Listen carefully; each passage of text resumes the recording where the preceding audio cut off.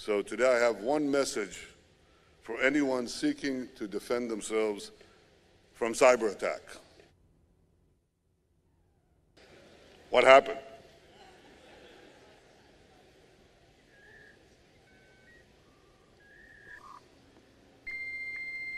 Ladies and gentlemen, this conference has just been hacked. Ironic, isn't it? A conference dedicated to cybersecurity being hacked. We are based in a country not far from Israel. That's all you need to know for now. The bank accounts of everyone sitting in this hall have just been frozen. The intellectual property of your companies is in our hands. So are your private conversations. This information is being sent to your competition and your enemies.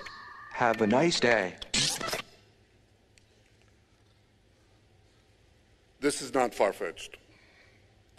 Uh, in the jargon, they say state actors could do much worse. Not, not state actors, states. States can do much worse. They can do everything that you heard here and much more. They can uh, cripple our most sensitive systems. Uh, they can even take over, literally take over some of those vital systems. And it is uh, not something that is uh, theoretical in the future. It's already happening in the present, as you well know. You wouldn't be here. You wouldn't have companies. There wouldn't be this thriving business if there wasn't this um, amazing threat to our banks, our airplanes, even our weapons. So we have unbelievable opportunities, and we're realizing them.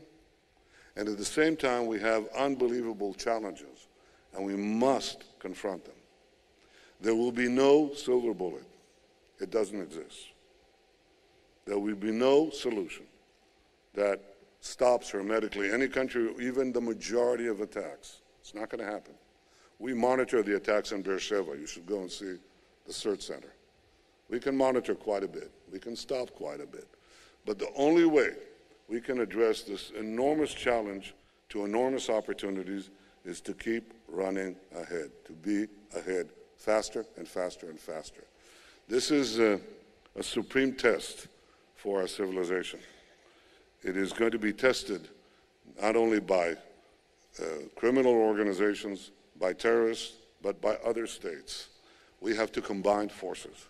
This is why we're holding this cyber conference here. It is to protect the present and ensure the future. No less than that. I welcome you to come to Israel.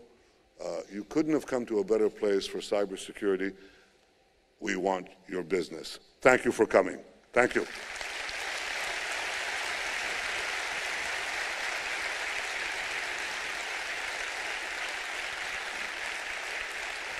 Thank you.